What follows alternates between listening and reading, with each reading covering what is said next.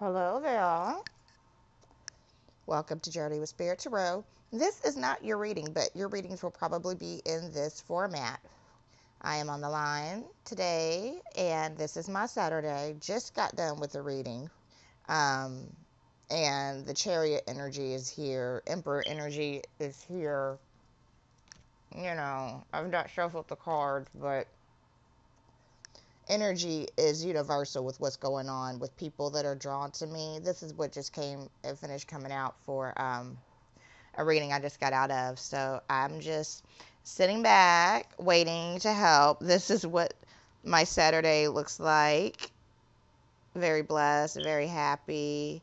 Someone sent me a very nice love note, wishing me abundance, you know. So uh, your readings are coming for the Twin Flame uh, weekend check in. Twin Flames only is probably not going to resonate with you if you are not a Twin Flame journey and if you're not in separation, if you are one of you is not awakened.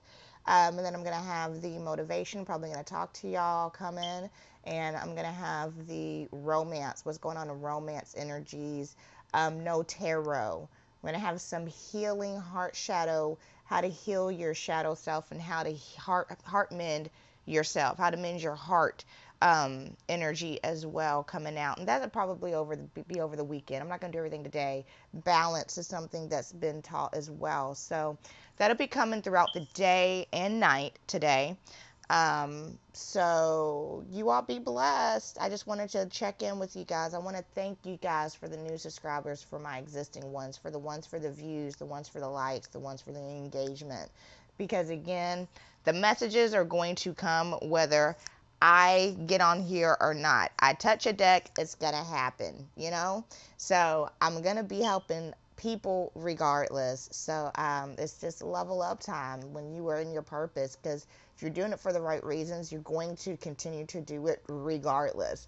It doesn't matter about the views. It doesn't matter. All that it matters is that it's resonating with someone and then the rest will happen in divine timing as long as you do your part in your purpose. So um, i'm glad that we have a energy line now because obviously with this energy line things are resonating and now your story is now connecting. You understand? So keep viewing keep liking because now i'm starting to hone in on your person's energy in your reads. So it's resonating more, especially with these dailies. So um, just keep that in mind because it's a journey. And also remember, these journeys, some people have been on these journeys for years, okay?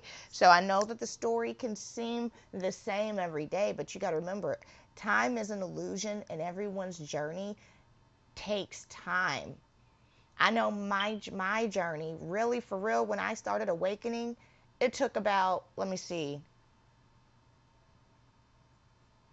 three to four years for me just to fully like start awakening, for my gifts to awaken, and then probably another two years in order for me to actually be confident in my gifts and then start and then it's still a journey because gifts are still coming and increasing so the journey really never stops you know and so just keep that in mind. Um, and that's also part of the journey because union keep in mind is not the goal.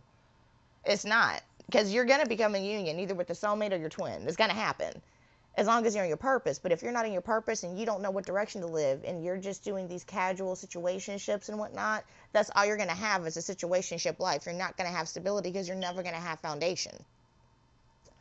So anyways y'all uh, the energy is flowing. So, uh, love y'all and stay tuned for y'all's weekend messages from Spirit delivered through me, Anuket, your intuitive reader and spiritual advisor. Bye, y'all.